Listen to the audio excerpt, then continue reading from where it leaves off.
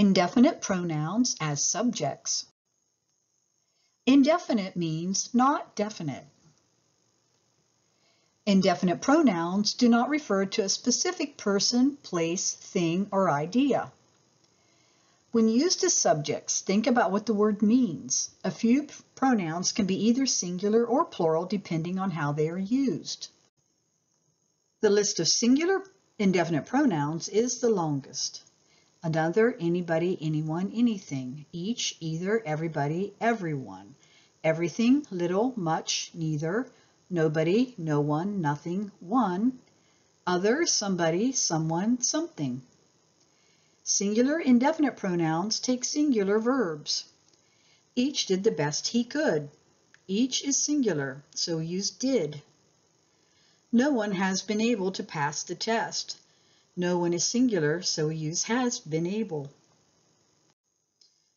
The list of plural indefinite pronouns is pretty short. Both, few, many, others, several. Plural indefinite pronouns take plural verbs. Both were happy to be finished. Both means more than one, so we use were.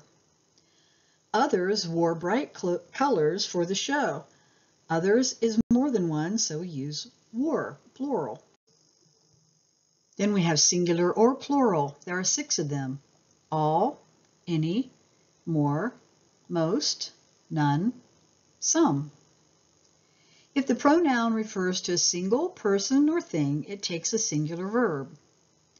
If it refers to more than one person or thing, it takes a plural verb. Most of the contestants were singers. We have most it's referring to contestants, which is plural, so we use were.